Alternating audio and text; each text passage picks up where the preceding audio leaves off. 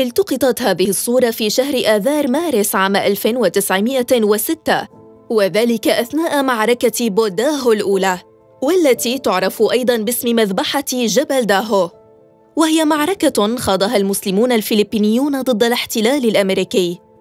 خسر المقاومون المعركة بسبب التفوق الكبير للمحتل بالعدة والعتاد.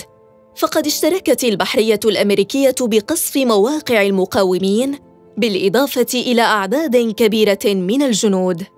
وانتهت الحادثة بمجزرة نفذها 970 جندياً وضابطاً أمريكياً بقيادة العقيد جوزيف دوكان حيث هجموا على الموريين المسلمين عند فوهة البركان.